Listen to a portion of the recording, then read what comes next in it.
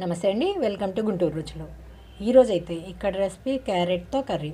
చక్కగా ముద్దకూరలాగా అనమాట మరి ఇలా ముద్దకూర ఏంటి ఫ్రై కాకుండా అనుకుంటున్నారా? చపాతీ పుల్కా పరోటా కాంబినేషన్లోకి చాలా చాలా సూపర్గా ఉంటుందండి. మరి పరోటాలో కావాలనుకుంటే ఇంకా గ్రేవీగా కావాలి మీకు అనుకుంటే కొంచెం వాటర్ మిక్స్ చేసేసి కొద్దిసేపు ఉడికించుకుంటే చాలు చక్కగా గ్రేవీగా వచ్చేస్తుంది. మరి చాలా తక్కువ టైంలో అయిపోతుంది ఈ విధంగా. నేనైతే ఇక్కడ ఉల్లిపాయలు అలాగే పచ్చిమిరపకాయలు టమాటో కట్ చేసుకోవడానికి చాలా సన్నగా కట్ చేయడానికి చాపర్ని వాడుకున్నాను. మీరు కావాలి అనుకుంటే సన్నగా తురుముకోవచ్చు చాకుతోటే.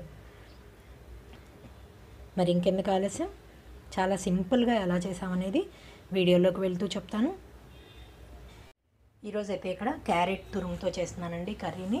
ఇక్కడ నేను క్యారెట్లు నాలుగు వరకు ఇలా సన్నగా తురిమి పెట్టుకున్నాను. క్యారెట్ చక్కగా తురిమే దాంతో తురుముకున్నాను. ఉల్లిపాయలు అలాగే పచ్చిమిరపకాయలు టమాటోని చాపర్లోకి వేసుకొని చాలా సన్నగా కట్ చేసుకుంటున్నాను ఇవి.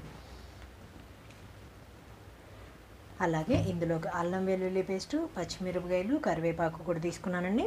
మిగిలిన ఇంగ్రీడియంట్స్ అన్నీ వీడియో చేస్తూ చెప్తాను. ఇలా చూసారు కదా చాలా ఫైన్గా కట్ అయిపోయింది. పక్కన పెట్టేస్తున్నాను ఇది. ఇక్కడ నేను స్టవ్ ఆన్ చేసి పాన్ పెట్టుకున్నాను.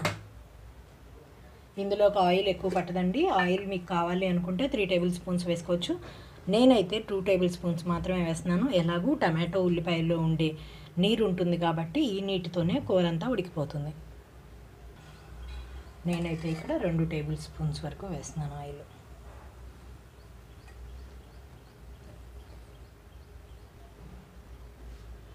ఇక్కడ ఆయిల్ అంతా హీట్ అయిన తర్వాత తాలింపు గింజలు వేసేసుకుంటున్నాను. ఇప్పుడైతే తాలింపు గింజలన్నీ వేగిపోయినాయండి. ఇందులోకి నేను అల్లం వెల్లుల్లి పేస్ట్ని వేస్తున్నాను ఇప్పుడు. కరివేపాకుతో పాటుగా.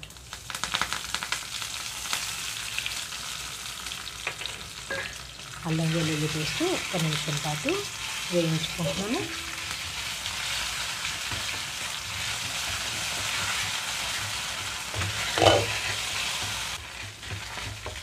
ఇక్కడ అల్లం వెల్లుల్లి పేస్ట్ పచ్చివాసన పోగానే ఆల్రెడీ గ్రైండ్ చేసి పెట్టుకున్న పచ్చిమిరపకాయ ఉల్లిపాయ టమాటో గ్రేవీని ఇందులోకి వేసేస్తున్నాను.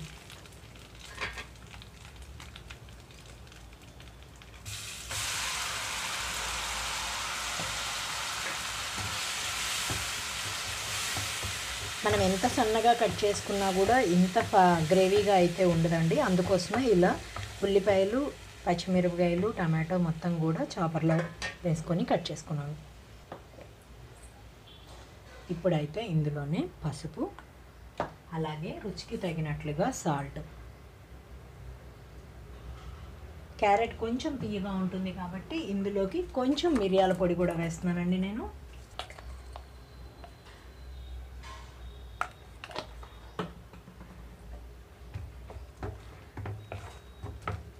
మూత పెట్టేసి ఉంచుతున్నాను. ఇంకా కారం వేయలేదు. మూత పెట్టేసి పచ్చివాసన పోయే వరకు ఉంచుతున్నాను. ఇక్కడ మూత తీస్తున్నానండి.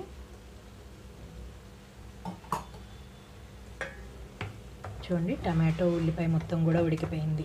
చక్కగా చూ గ్రైండ్ చేసినట్లుగానే తెలుస్తుంది ఇక్కడ పేస్ట్ లాగా. ఇలా ఉన్నప్పుడు తురిమి పెట్టుకున్న క్యారెట్ను వేస్తున్నాను.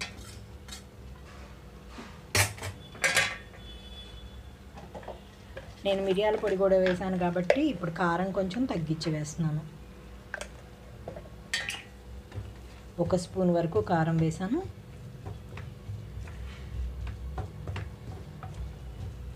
క్యారెట్ పొడిగా ఫ్రై తినలేరు అనుకునే వాళ్ళు ఇలా ట్రై చేయండి. చపాతీలోకి పుల్కాలోకి చాలా చాలా సూపర్గా ఉంటుంది. రైస్లోకి బాగుంటుంది.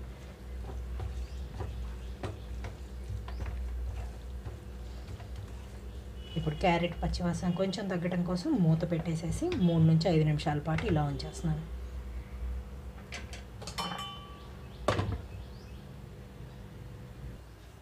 మూత తీస్తున్నాను ఇక్కడ నేను. చూడండి ఉన్న కొంచెం ఆయిల్ కూడా సైడ్కి వచ్చేసింది. ఇంకా చివరిగా కొంచెం కొత్తిమీర తురుము చల్లేసేసి స్టవ్ ఆఫ్ చేస్తున్నాను. మనకి క్యారెట్ పూర్తిగా ఓవర్గా కుక్ అయిపోవసరం లేదు. కొంచెం సేపు ఉంటే చాలంటే minimum three to five minutes ఉంటే చాలు. కొంచెం కొత్తిమీర చల్లేసాను.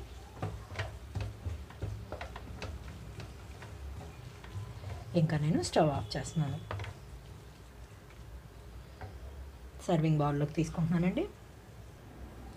చూసారు కదా క్యారెట్ కర్రీ రెడీ అయిపోయింది. చాలా చక్కగా ఉంటుంది రైస్లోకే కాదు చపాతీ పుల్కాల్లో కూడా. మరి తక్కువ టైంలో కూడా అయిపోతుందండి. ఈ విధంగా ట్రై చేసి చూడండి. మీరు కూడా మీ ఒపీనియన్ అయితే కామెంట్ బాక్స్లో పెట్టండి.